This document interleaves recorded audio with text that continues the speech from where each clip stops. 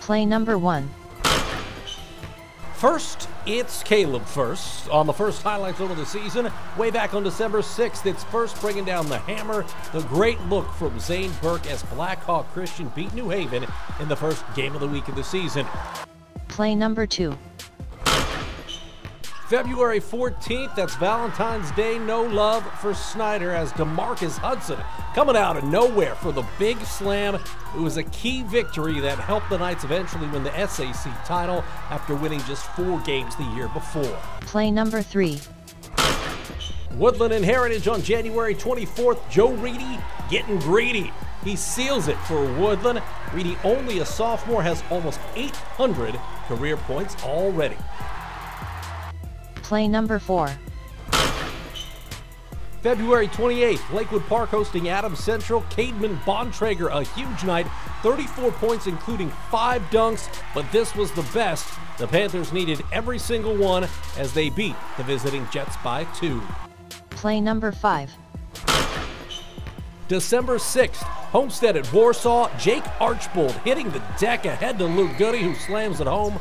Goode and the Spartans winning at the Tigers Den by 19. Play number six. March 3rd, and this one comes from sectionals. Concordia's Brayton Pearson with the putback slam.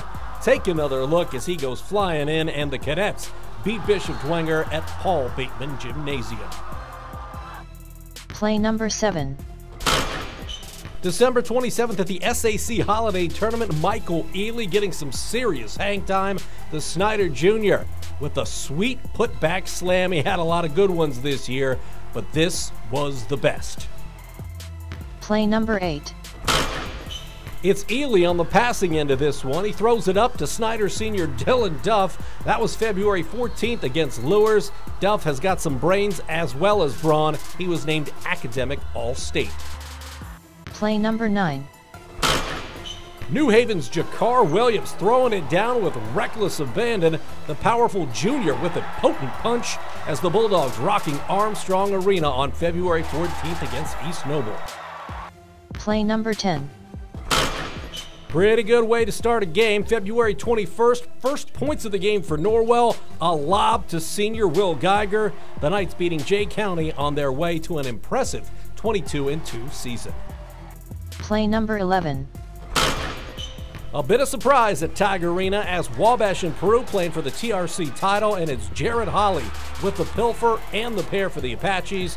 With the win over Peru, Wabash earning its second straight outright conference title. Play number 12. This list wouldn't be complete without a submission from Landon Jordan. January 31st, the Busco big man slams it home against Central Noble. Jordan helping Busco win a share of the NECC title and a sectional crown. Play number 13. Leo's Blake Davison, generously listed at 6 foot 1, 150 pounds. He's the smallest guy on this list, but he's got some big time talent. The future Indiana Tech Warrior throws one down against Woodland on February 28th. Play number 14.